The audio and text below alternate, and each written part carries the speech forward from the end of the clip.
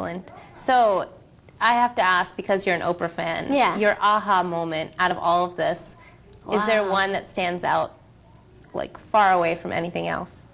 I think I had a lot of aha moments at the beginning when I was first writing the songs and trying to get the CD together because it was such a difficult process. And I'd get little hints, like I told you the note that I found on the table, or um, something really weird that happened to me was um, this lady had approached me a couple years back saying, "Oh, you're Indian. I know a really good Indian singing teacher if you ever want lessons." And I'd kept her number on this piece of paper, and I kept the paper in a folder. And it was really funny because when I wrote Tera Pyar, um, I couldn't get a chorus. And I didn't know how I wanted the chorus to go. Everything that I wrote, all my vocals are mostly in English.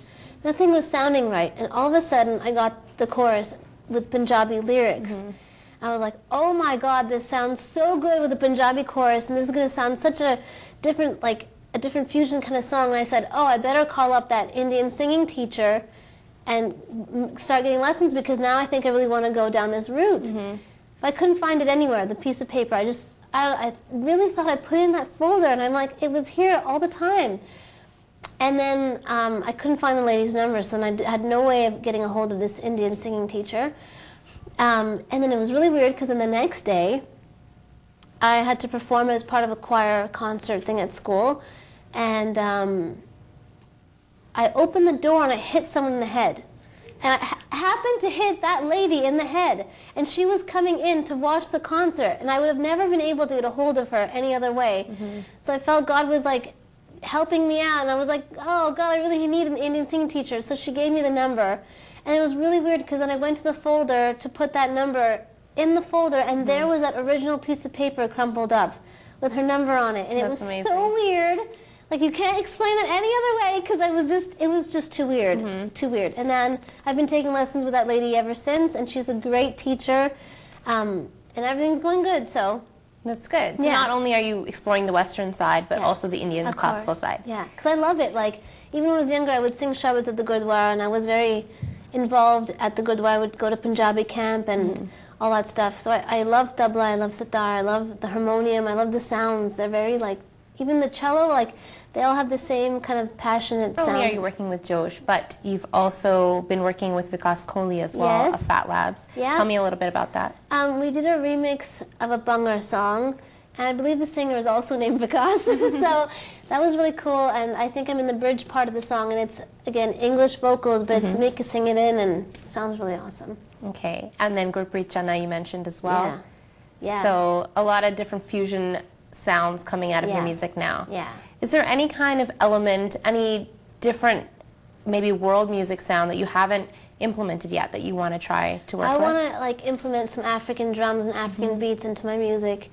My parents were actually born in Uganda in Africa, Oh. so we are from Africa, and um, the music that I heard there when I was there was so beautiful, and it was amazing. Like everywhere we went, people would greet us with song and singing, and they've never been taught how to sing, and they're doing three, four-part harmonies perfectly in tune, so loud, so powerful.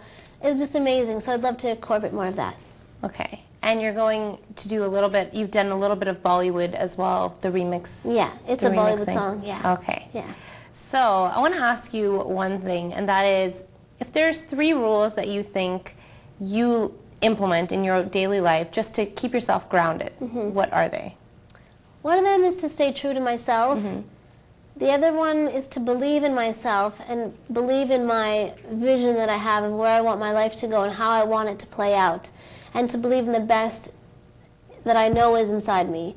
Um, so I think it's all about believing in myself. I think because I struggled so much with that, um, even growing up and stuff, I was made fun of a lot in school because I did look like a dork. And when I look back at the pictures, I'm like, okay, I think they had reason. We all had a couple of years like that, don't worry about it. yeah. So um, I just I just try to believe in myself. I can get really down about things. I can get really depressed about things, but I just know that I have to keep positive and keep pushing at it, and keep trying my best and doing my best. So. Okay. So would you have any advice to give to any struggling singers out there who are trying to make it in the business and, you know, maybe are finding themselves at that point where you were a couple of years ago where you weren't sure if you wanted to continue? What would you say to them? to keep doing it. And every day brings a new opportunity, and to always remember that because you're not always going to be stuck in the same position. People are always coming in and out of your life. People will be able to help you. Um, I've got a great team behind me. Um, but it took a while to find them, and I'm glad I have them. And sometimes it takes a lot of bad experiences to be able to recognize the good experiences and to be able to recognize the good people.